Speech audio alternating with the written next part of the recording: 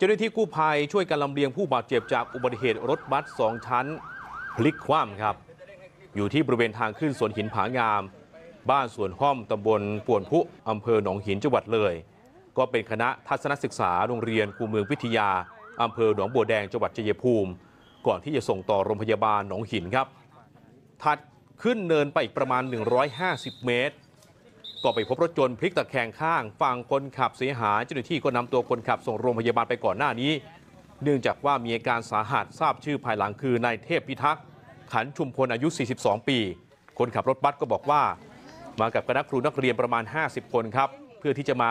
ทัศนศึกษาที่สวนหินผางาม และถ้ำโพธิสัตว์อำเภอหนองหินจังหวัดเลย ขณะที่เดินทางกลับมาถึงจุดลงเนินยาวประมาณ 3 กิโลเมตร ระบบเบรกขัดข้องครับทำให้ไม่สามารถควบคุมรถได้ และข้ามเลนไปชนกับรถที่สวนทางมาครับมาเกียร์สองเนี่ยมันก็ดีๆเอาลงมาดีๆที่แรกอะพอลงมาเสร็จตรงตรงตะเนี้เกียร์ยังลงมาสองครับพอนี้ก็พอลากลากมามันเบรกไม่นานเขาก็คงจะลื่นไปเฉยๆอะเรื่องเดียวพอลื่นไม่อยู่ผมก็กินเลนเข้าไปใช่ไหมกินเลนขวาเข้าไป พอรถเก๋งสวนขึ้นมาผมก็หักออกเพราะงั้นท้ายจะไปประทานรถเก๋งพอท้ายประทานรถเก๋งผมก็